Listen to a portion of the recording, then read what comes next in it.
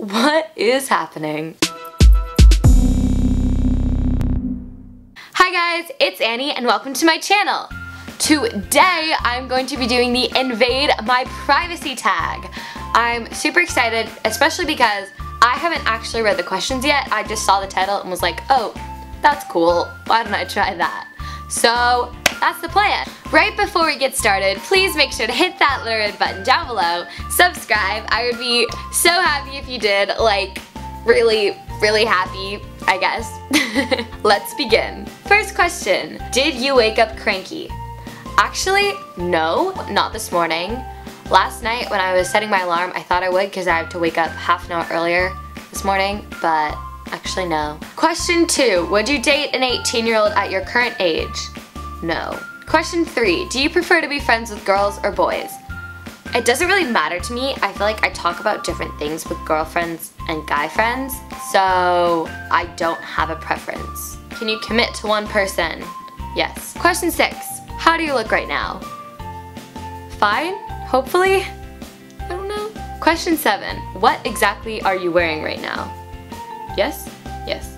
What exactly are you wearing right now? Um, wearing some schnazzy, okay. This has taken some maneuvering. So, I'm wearing some schnazzy gray Vans, um, and some socks. Yes, I'm, okay. And some socks. Yes. And um, I'm also wearing some schnazzy black Ivivva leggings. And then I'm wearing an Ivivva tank top and um, sweatshirt. And I don't know where this is from, so let me check real quick. yeah, I think it's from H&M. So, H&M jacket, Ivivva shirt, Ivivva pants, Vans, socks. Question 8. How often do you listen to music? All day, every day, every... all day, every day. Um, I wake up in the morning and I turn some music on so I wake up better and then I go downstairs and I transfer the music from my speaker to family room so I'm still listening to music and then I listen to music in the car and then I go to school. then most classes I can listen to music and then I come back and I listen to more music. So like seven hours a day probably? Yeah, all the time. Nine, do you wear jeans or sweats more? Jeans, um, I'm not really a sweatpants person, so jeans. Question 10, do you think your life will change dramatically before 2020? Probably not, because I'll just be in high school. Question 11, are you an introvert or ex words. Question 11, are you an introvert or extrovert?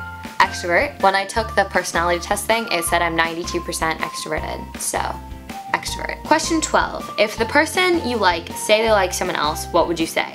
I don't know. Um, probably just be like, oh, they're a cool person.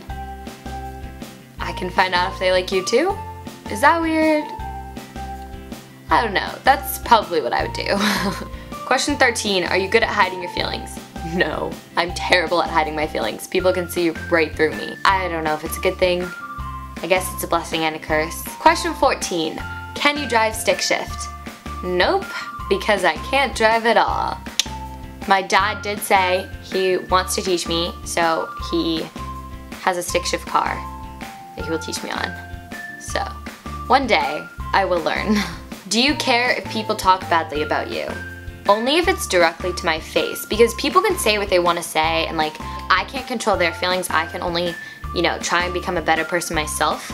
So, I don't try to change myself because someone talks badly about me. If I know something's not true, then I'm like, whatever, you can think what you want to think.